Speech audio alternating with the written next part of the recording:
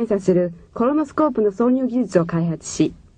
翌1969年には大腸にあるポリープを切除するためのツネアワイヤーを発明しました。そして世界で初めてコロノスコープによる大腸ポリープ切除の成功を収めました。これまでに約30万例もの内視鏡検査を行い、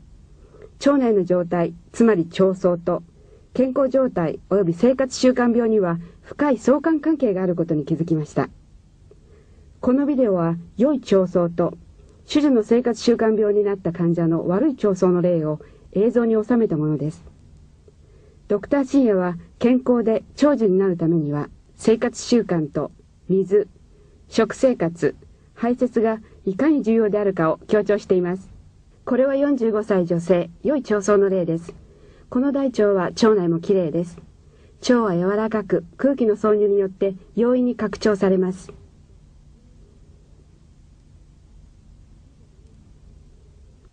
47歳の女性、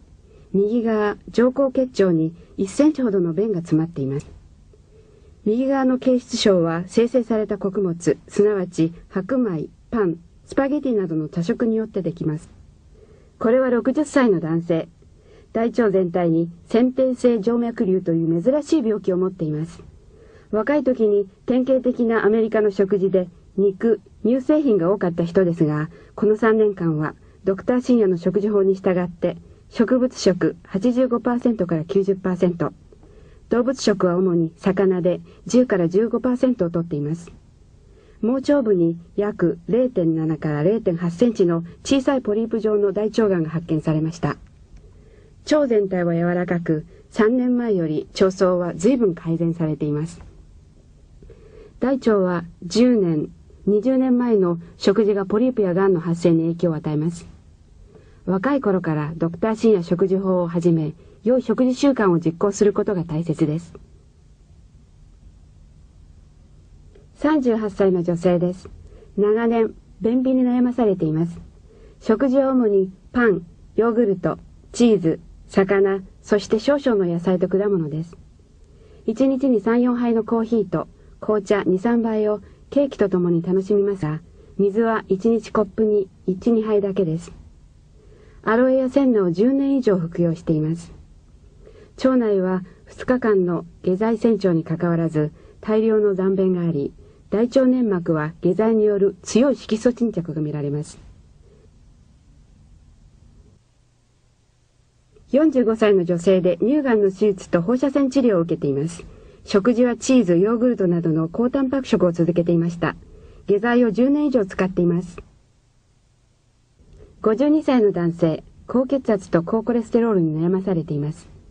食生活は肉、乳製品を含む動物タンパク食が中心。このビデオに見られるように大腸は狭く硬くなっており、大腸形質に宿便が溜まっています。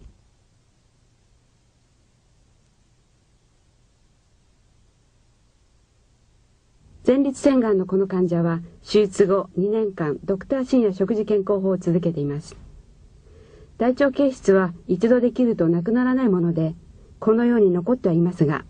大腸は硬さがだいぶ柔らかくなり、内腔も広くなって低体便がありません。